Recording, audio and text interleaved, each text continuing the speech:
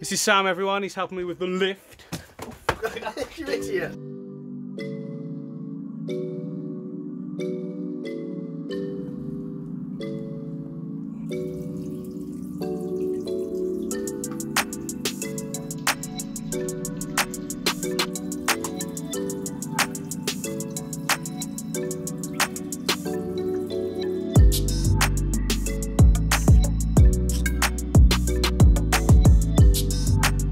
So delivery driver's just been and delivered me spin round. How do I do that again? I don't even know how to spin round. He's just delivered me this lot from All Pond Solutions. You're wondering what it is? It's well, you're not wondering what it is probably because you've seen the thumbnail for the video, but yeah. But what I need to do now is wait for my friend to finish work so that he can help me put it all in. Behold.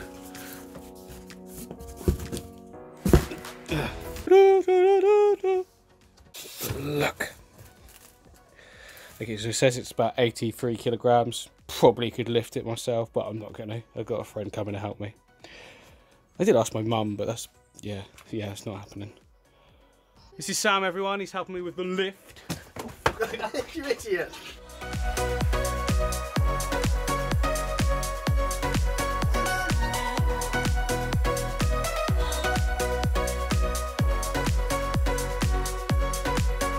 You want to come too?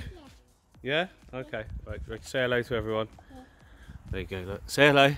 Hello. Right. So this tank has now been sat here. Whoa. Yeah, it's massive, isn't it? Yeah, you can do that. It's so big. It's been sat here for a couple of weeks now, though, hasn't it? And quite frankly, I've just been desperate to get on and build it, but I didn't have all the plants, which are waiting to arrive from Tropica, and now they are here. So, without further ado, let's crack on. First thing I want to do is oh bless you, oh bless you, you sneezing. Oh, bless you. What's these? Oh, that's mosses. All the different mosses that's going to go on top of the rocks that sit on there. On these rocks? No, that's different. That's shrimp tank. Anyway, so yeah, what I want to do is, if you notice that this this light here is attached to the rim, Is and I, that the same? yeah, that side as well, and I just don't think that looks very good. So what I'm going to do is attach it to the roof and have it hanging. So that's the first job. Okay, there we have it. That's suspended really nicely, just with a little bit of fishing line and a screw. I was gonna like video me doing it, but I thought, well, it's, it's fishing line and screw. It, it doesn't really get much easier than that. But I'll get this wood out now, and then the next job is substrate, as we always, as we always know, as we always know. What does that even mean? I'm a bit undecided still, but I think the best way is going to be to put a layer of gravel down, um, and then I can put the more large flat rocks on top of that to create more of a sort of a load spreading area, if you like, because I don't want to put pressure points on the glass. I mean, it's really thick glass, so it'll probably be all right either way, but um, yeah, we'll just do it like that. I think that's the best way. And then I'll put smaller rocks at the front of, of the larger ones to make sure that none of the gravel gets turned up uh, in case Pancho tries to eat it. Which, to be honest, I don't think really happens. I think that's just an internet thing.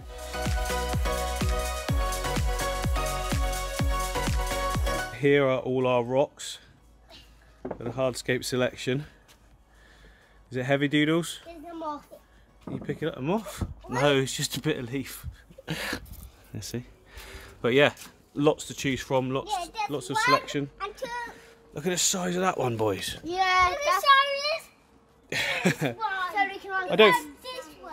I don't think I'm going to need all of them, but you know, it's good to have a good choice. Yeah? It's got good choices. What I've done because I I wasn't going to do this, but I am anyway because I just I want to be real careful because we're put, putting a lot of weight stacked up here. So I've put down this polystyrene all the way across and beneath the gravel as well, so it'll just spread the load nicely of all these heavy rocks that are going to be stacked on top of it. It was something in the air tonight. It was something. Right, first layer's in. Basically a wall of rock initially at the bottom just to give it base sort of level. This side actually comes out a lot further than than the left side, although you can't really see it there. Let me move it. Well, not a lot more, but you know, there you go, a bit of an overhang. And we, on the next layer, we'll indent a little bit more and give it a little bit more variety in height and whatnot. But that's just the first layer, nice and flat down.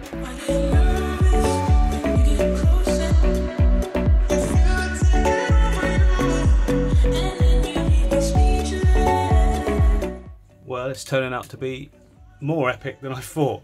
That's quite a uh, quite an intense sort of hardscape there. It's quite hard to get a sense of scale, scale actually. So let me get in front of it. Don't know if that helps, but yeah, it's uh, it's going well. Uh, the next big job is to uh, block all these little holes that you see everywhere. It's going to take some time, but it'll be worth it so the Pancho doesn't get stuck behind. I don't want to go in behind at all. I want it all to be just in the foreground. Obviously, it's only going to be uh, halfway filled with water as well, as as you saw before with my previous aperture. Well, off camera last night, I was just playing around with some wood. Uh, that's not a euphemism. uh, I just and yeah, it looks good. Uh, I was going to take it out and refilm putting it in, but the likelihood is I'll get it wrong. Um, that looks good. I've got some more smaller, finer woods to go in between as well. Now I need to carry on, as I said before, and block those gaps. We've been driving around, singing songs way too loud because we wanna. Picking up our love friends, fill up. Well, I think I've done a good job there of blocking up as much as is necessary, but time will tell. When Pancho's in the tank, I'm sure he or she will find lots of little gaps that are all open that I need to block, but that's fine. It, it's a continuous work in progress, as with any tank really. And here is how the filtration will work. I've removed one of the big rocks that goes here just to show you, but the section behind is completely clear. And then you've got your intake pipe right there.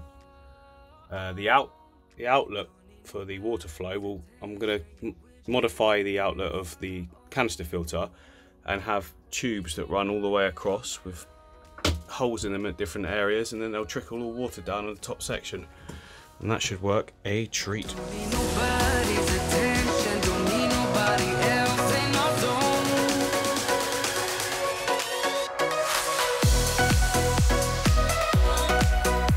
Well, I think this is looking great. So next job, I need to get the sand in the bottom. Um, I'm not going to wash it. I'm then going to fill it with water, drain it out. It's going to get really cloudy and horrible, but that's absolutely fine. I've got a big filter to sort that out, and I'll put lots of filter floss in. We're going to be good.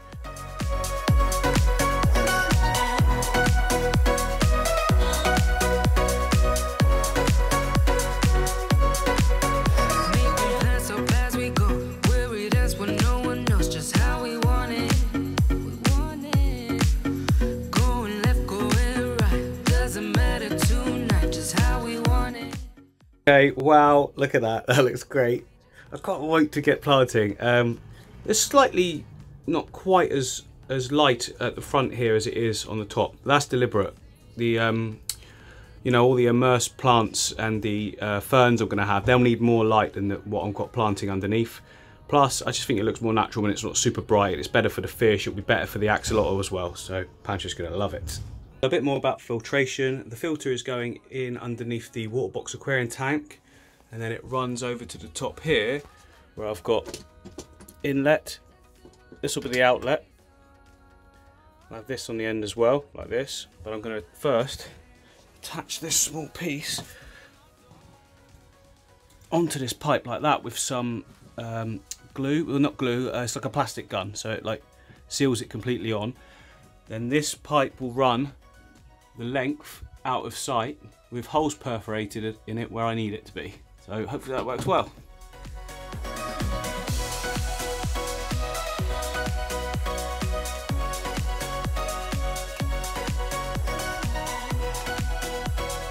Okay, there's the pipe work in. Ugly at the moment, but you won't see any of it.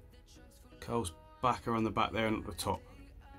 Uh, next I need to perforate it with the holes of where I want the water to come out, which is around this section here, which will flow down so I don't need to worry about the bottom section. And I just want some more coming out the top here over this rock so we can put lots of nice mosses on it. It should look really good. Pipe works in, the filter's primed, Let's test this out. Hopefully it works.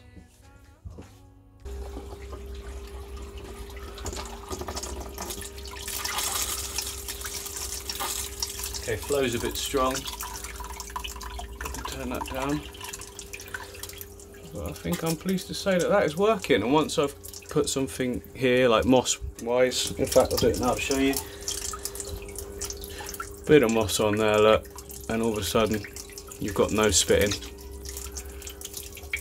Ideal. That looks really good. What about this side? Ah, look at that. It's just what we need. You don't need more than that because uh, the water travels through mosses. So as long as you're getting the top part of the moss wet, it tends to flow. All it'll flow all the way down into any moss that I've got down the bottom there as well. So yes, worked.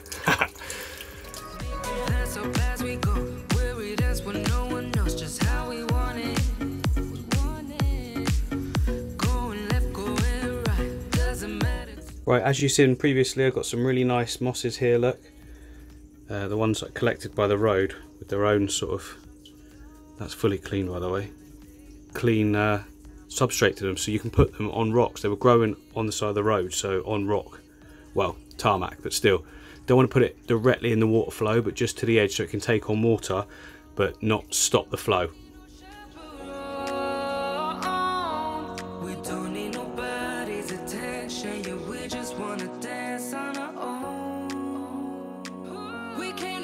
That's all the moss added in the areas I want for now. I can always add more later if I want to, but for the minute I'm going to leave it as that so I can add in some nice ferns and get some of the plants from Tropica in. Some of them I want to grow immersed, you see. Uh, right at the back there in that section there, I want a load of immersed plants coming up through. The materials that you're going to need to make the packets for the ferns to go in so that they don't spill all their organic material into the water column is aqua soil, Tropica obviously, elastic band, your ferns, over this side, bit of sand to add as acts as a substrate as well with the uh, Tropica soil, and filter floss. And of course, my plant food, just a little bit in each packet. Anyway, I'll show you what I mean.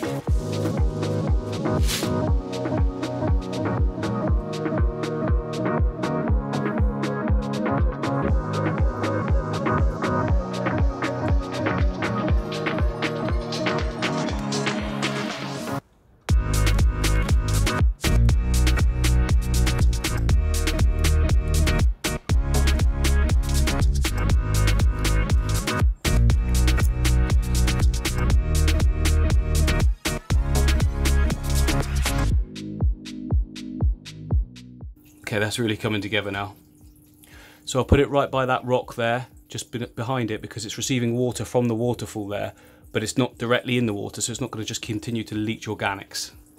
That's what you just need to do. Just be aware that you don't want to plonk the uh, terrestrial ferns directly in water. Eventually, the roots will grow through that packet we made and go into the water themselves, but at the moment, just leave them so that they're receiving water, but they're not in the water.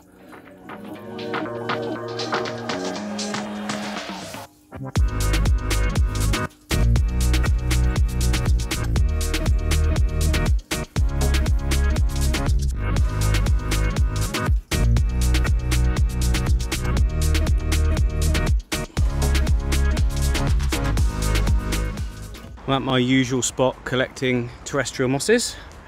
So like you just look around, you just find them on the rocks. This one's a nice one. Peel it up so you get a little bit of substrate of it as well underneath. It's mainly sand. It's all quite dry, which means it's going to survive really well.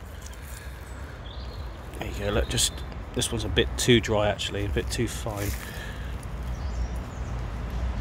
That's nice, nice bit. And just keep doing that.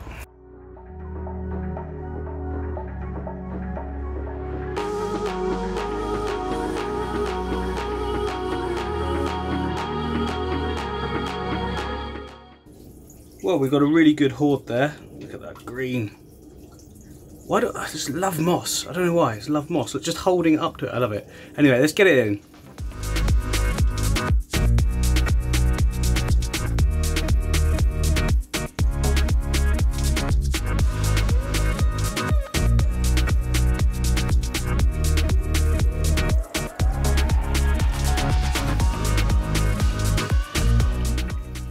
That's the terrestrial plants taken care of. And now, right in this section in here, I want to put a load of aquatic plants that can grow immersed.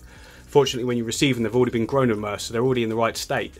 I just need to top up in that area with some Tropica aqua soil, and then I can plant some. Um, what have I got? I've got Hygrophila siamensis 53B. Everyone loves 53B. Grows really nice when it's immersed as well. The Amazon sword Bella Hooray. I think that's how you pronounce it. At least I'm trying. And Hygrophila polysperma as well.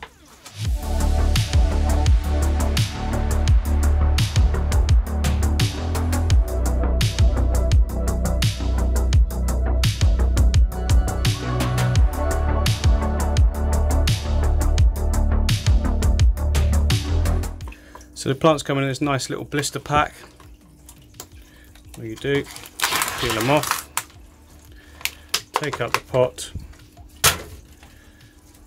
remove from the pot. Oh, this is going lovely.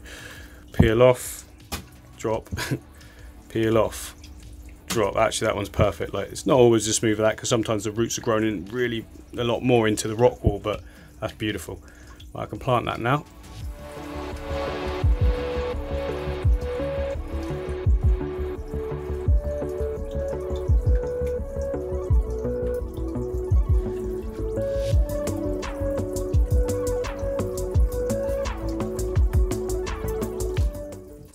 Right, so that's that little immersed section there completed. I now want to start planting into the sand.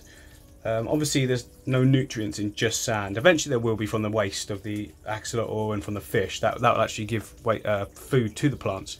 In the meantime, I'm going to plant all the plants in the sand, and then I'm going to use these nutrition capsules from Tropica, which are brilliant because they're a little tablet and they'll stay together in one area, which is just what I want. I don't want it spreading around underneath the substrate because I know this substrate is going to get disturbed as the axolotl grows. In the meantime, it's going to stay where it is and the root system of all the plants will get intact and it'll be absolutely fine by the time the axolotl is older.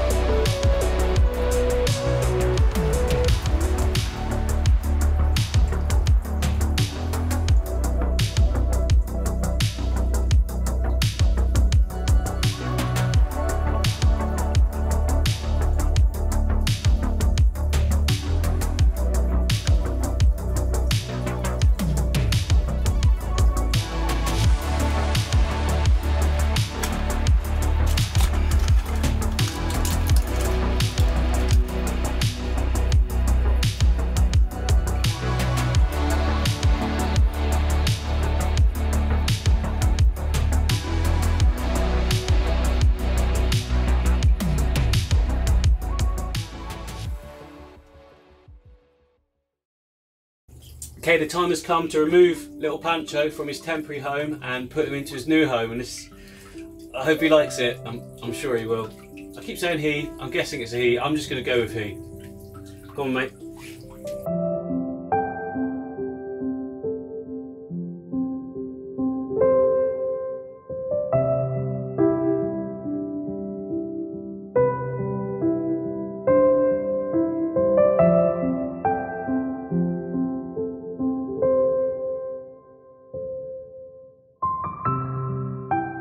Bless him. Look, he looks absolutely lost in there. He's only tiny, but he's going to grow, remember, so you'll probably get about this long, possibly there. So I think this is a really good size aquarium for him.